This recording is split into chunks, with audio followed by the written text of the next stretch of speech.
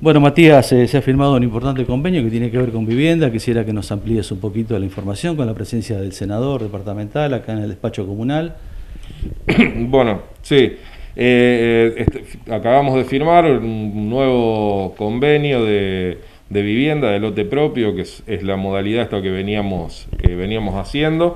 La verdad que bueno, muy contento por, poder avanzar en este, en este tema. Son cinco viviendas, por cinco viviendas firmamos.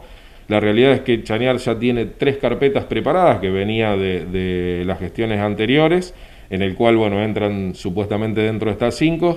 Y, bueno, la idea es eh, ahora solicitar a la población, todo aquel que tenga algún lote, que se presente acá, que venga, que hable con Ana Belén para, para anotarse, creo que hay que inscribirse también por internet, eh, así era, era antes, pero Ana acá le puede dar todas las recomendaciones de cómo hacer. Eh, y bueno, después se verá de esas dos que quedarían pendientes, eh, al, a ver si llega a haber más gente que tiene terreno y que quiere llegar a hacerlo, bueno, se, se llevaría a cabo adelante un sorteo. Así que eh, lo, bueno es que se avanzó con esto, que, vamos a poder continuar y que bueno, vamos a poder sacar esas tres eh, viviendas que teníamos eh, frenadas, que bueno, por, por, raíz de la pandemia, por cambios de gobierno y por, por nuevas disposiciones provinciales, se fue, se fue demorando. Esto bueno, va a ser una, una alegría enorme. volver a retomar este tema, como lo dije ya una vez, creo que entregarle una casa a una persona que lo necesita es, lo mejor que te puede pasar en, una gestión. Así que bueno, está muy bueno de parte de la provincia que se retome con, estos temas. Perfecto, senador. Bueno, la modalidad de lo que está llevando adelante en el departamento lo hemos visto en otras localidades, firmando convenios también y bueno, hoy en Chañar. Bueno, así es, efectivamente. Matías un día me llamó preocupado porque tenía una vivienda que todavía no tenía ningún tipo de, eh, de resolución y bueno, hicimos una teleconferencia con el director provincial de vivienda y sus asesores, pudimos llegar a, presentar este nuevo, mm, digamos que una continuación, pero con una nueva modalidad, lote propio para construir vivienda.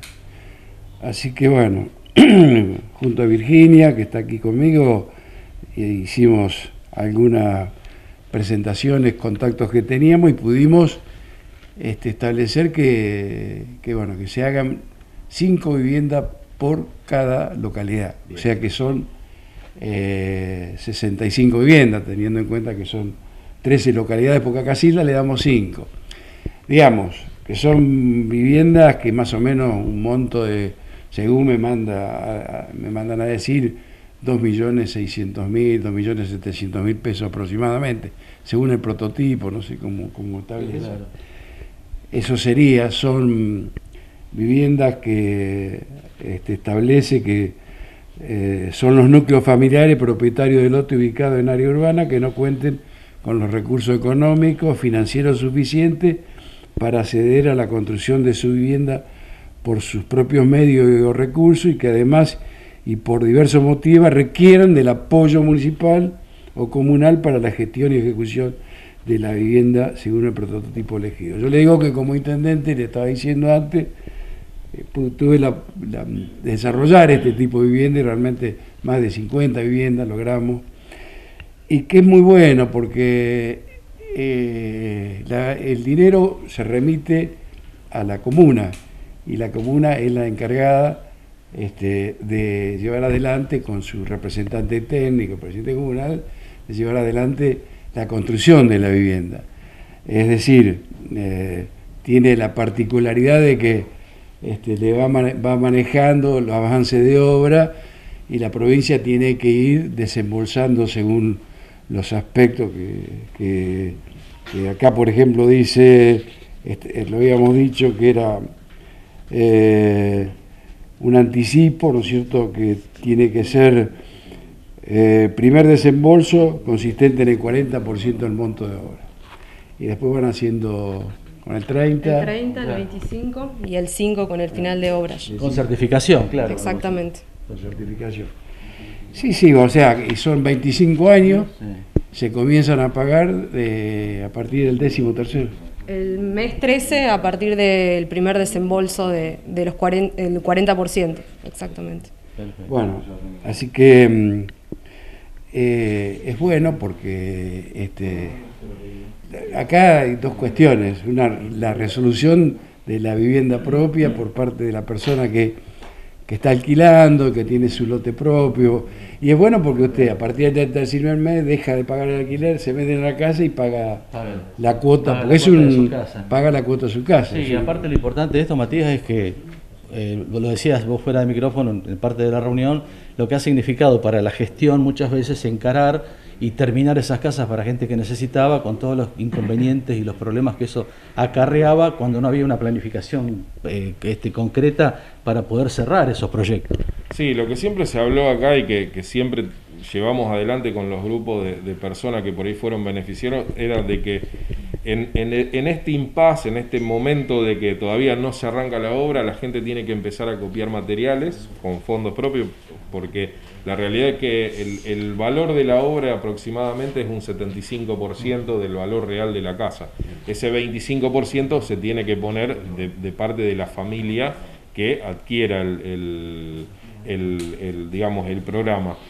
Y a su vez también después depende de cada familia qué materiales o qué quiere modificarles a la, vivienda, porque pueden ser las aberturas, pueden ser este, ver si se puede ampliar un poquito más los, metros, eso después hay que verlo aparte, ¿no?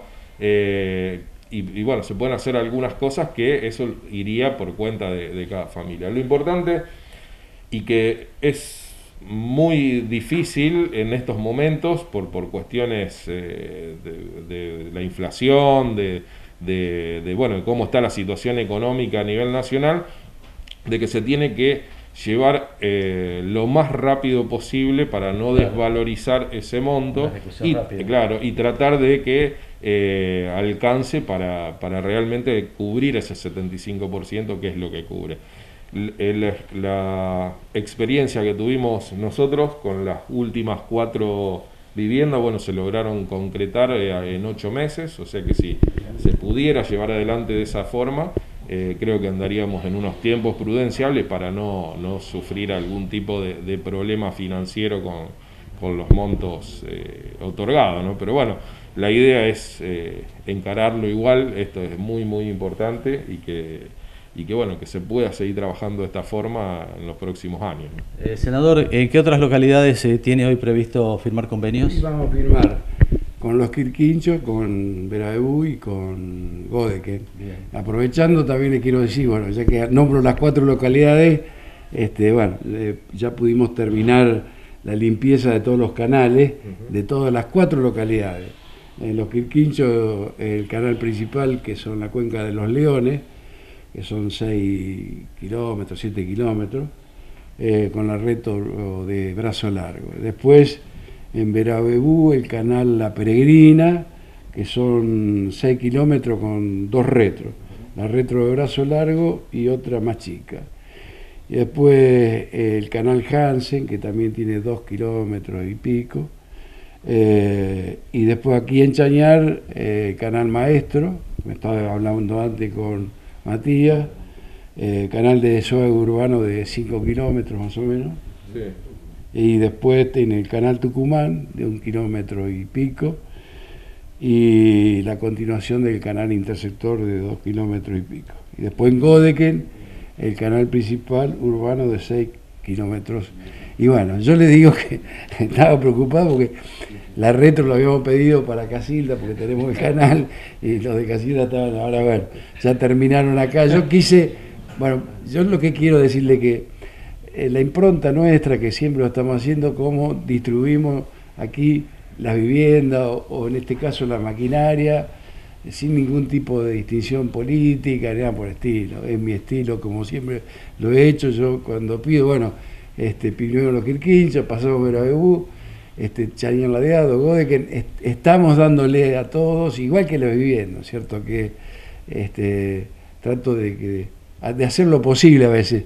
Dentro de esta situación, a veces no podemos lograr, pero bueno, vamos tratando de, de ayudar en lo que puedan pedir los, los presidentes comunales. Yo recién termino de hablar con el presidente de la comuna de Caferata que me ha dicho que se ha comunicado con usted y me dice, bueno, aprovechá que te vas a encontrar con Rosconi porque también le hizo el pedido a Enrico por el tema de, activar un poco la repavimentación de la 15 en algunos, algunos tramos. Bueno, como la noticia viene fresquita y todo va a salir hoy al mediodía, es bueno también transmitirle esa inquietud. Ya me dijo Enrico que quería este, volver a la 15. También hay que señalizar la, la que tenemos aquí desde los Quilquinchos, desde de, de, de que...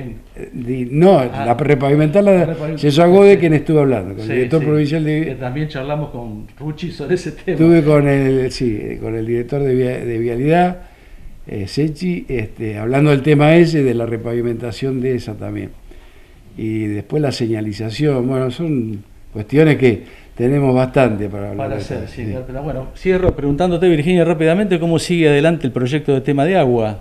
Y estamos trabajando en, el, en, la, en la, conformación de los equipos de trabajo, en las cuadrillas de trabajo. Eh, como venimos diciendo, hay ya muchos trabajadores que fueron parte de la obra de cloacas, que eso también genera una experiencia previa que es indispensable para avanzar en esta obra. Y por otro lado, estamos en la búsqueda de algunos albañiles que se vayan especializando en el tema, así que estamos trabajando con, junto a Matías y a la cooperativa de agua potable en, en la pronta resolución de eso, así que calculamos que para dentro de un mes, un mes y pico, estaríamos ya empezando en el avance de la obra. Perfecto, muchas gracias. Bueno, gracias.